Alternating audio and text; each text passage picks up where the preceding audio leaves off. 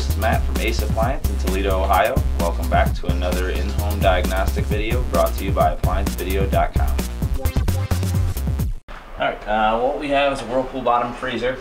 Customer's complaint is that they're getting water that's leaking out of the bottom of the freezer. When you pull the bottom drawer out, we got a layer of ice underneath here, uh, which is an indication that the drain line is going to be frozen. So what we're going to have to do is remove everything from the freezer, get back behind the back panel, break up all the ice, thaw the drain line out, and snake it.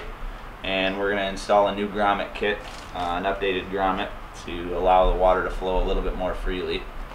The tools we need for this repair are a turkey baster, uh, four-way or a putty knife, small flathead screwdriver, and a quarter inch nut driver or a quarter inch bit on a drill. Alright, we're gonna go ahead and remove, well you don't actually fully have to remove them, just loosen the four screws. There's two on each side.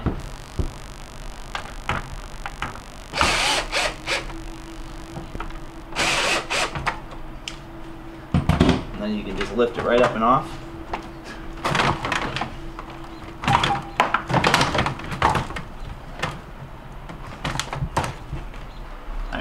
Just go ahead and pull this basket out.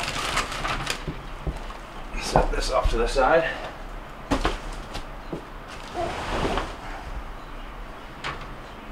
And to remove this basket, we've got two screws on each side, quarter inch.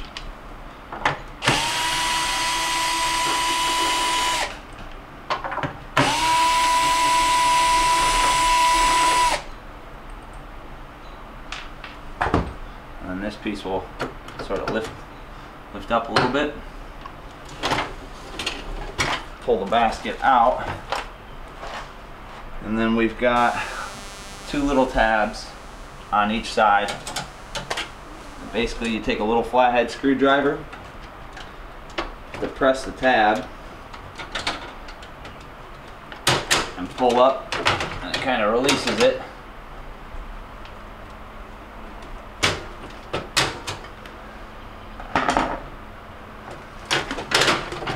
And then you can basket right out. Alright, now we're going to remove the ice maker.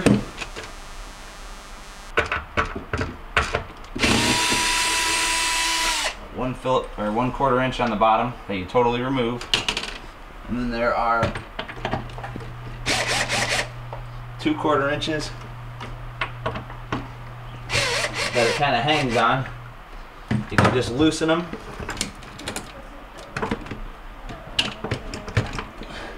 Well, the back one's gonna have to come all the way out actually.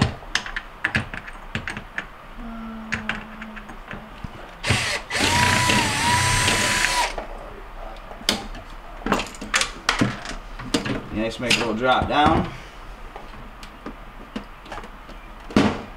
Just have your connector there to press and remove. Okay, we're gonna remove the cover piece here. Got three tabs one up in the far corner and one in the front. If you get two of them off, there's your tabs.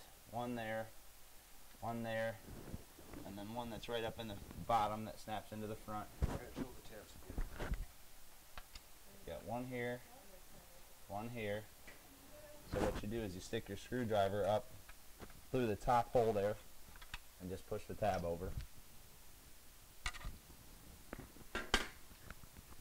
and then on this cover piece, just stick your screwdriver in,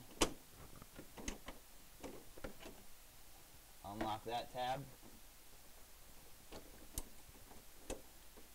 pull your thermistor out, slide that through, and you've got four quarter inch screws that are holding the back panel in.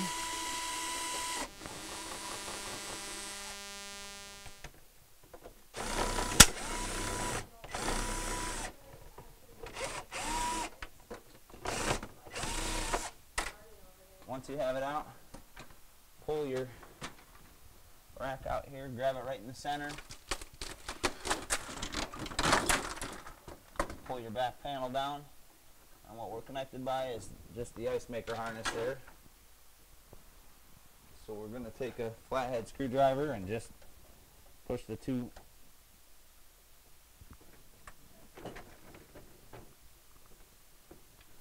tabs back in.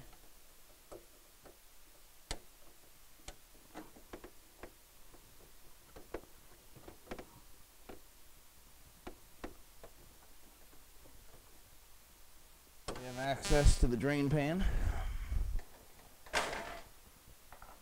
Alright, so what we're going to do is just take a putty knife and sort of wedge it right up underneath there. So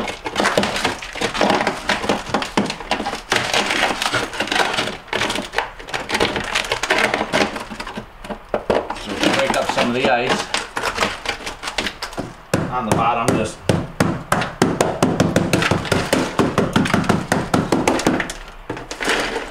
run through and break all this up. And have a towel handy. Alright, so what we're going to do now, we've got still all this water that's frozen up along this drain pan here. We're going to just take some hot water and a turkey baster and just sort of start spraying some, some hot water up into the pan and melting all this ice up in here. To just try to be careful with fins. Make sure you don't really bend them up and mangle them too much, because that's they need to have sufficient space for air to flow between them. I mean, if you bend a couple out of shape, it's not going to really hurt anything, but just kind of want to be careful. All right, well we got our drain line cleared. Got all the ice freed up and cleared out of the way, so we're going to go ahead and put our back panel on. So you sort of have to flex the back panel just a little bit.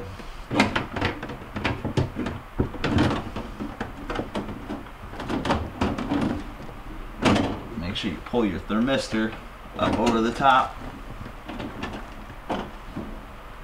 There. And you gotta reach in from the other side.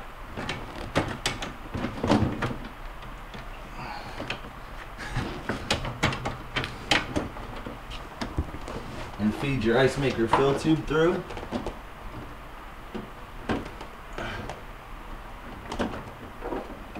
And also a connector to the ice maker. So you can take your finger, sorry, sort of feed this piece through here, snap that in, and make sure your thermistor comes up over the top.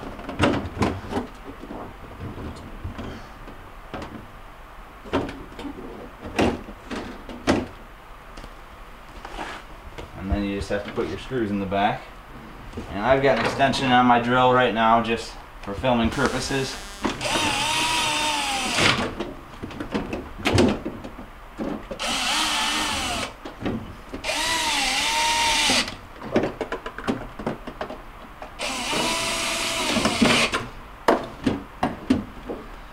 Okay.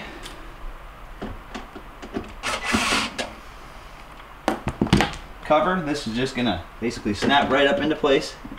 And this one here, feed thermistor through, snap it in. You got these two ears that go in right there, and that snaps into place. We're gonna reconnect our ice maker. We're gonna go ahead, feed it up through the fill tube, and then hang it on the one screw that we have still there. We've got it hanging here. We're gonna go ahead and put our other screw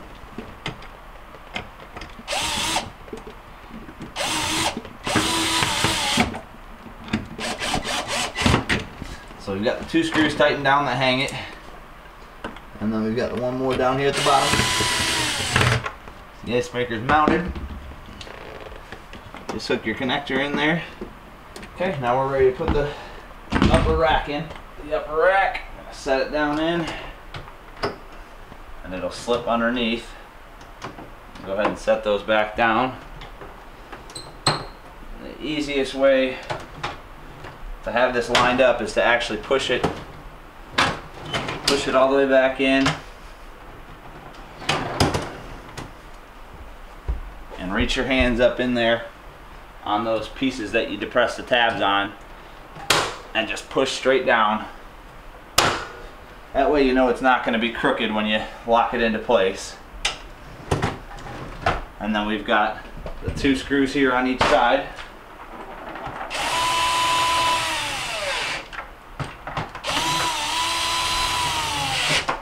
Those back in. Make sure it slides freely. This just drops right into place.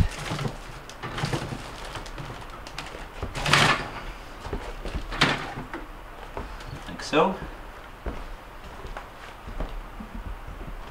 We're gonna go ahead and set the door back on. Just sets right down into these grooves here. And then you tighten your screws back on.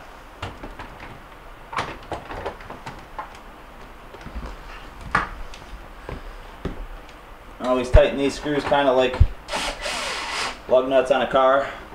Top right, top left, lower right. Just kind of get it in a cross pattern.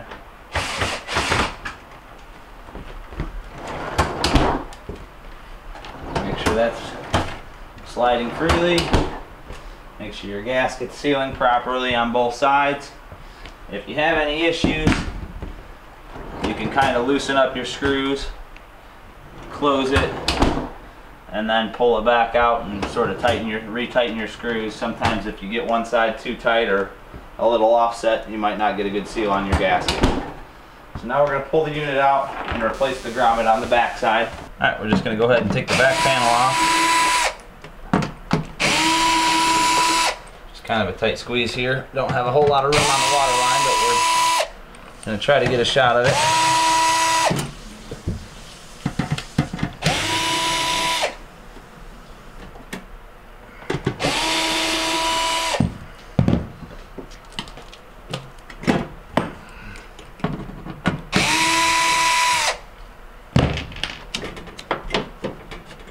lift up on your power cord. Pull that out of the way. I've got the unit unplugged.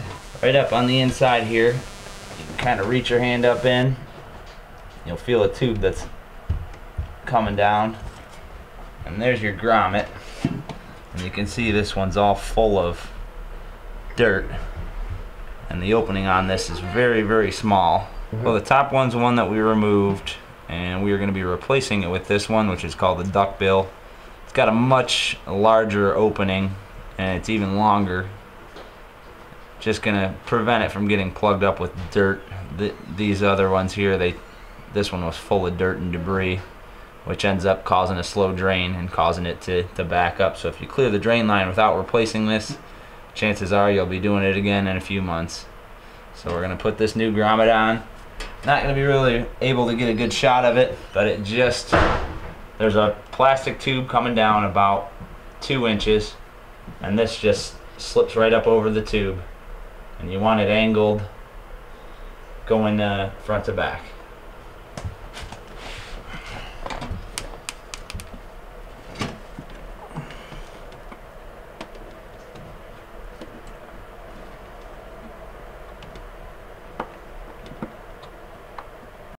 Thank you for watching another quality video from ApplianceVideo.com.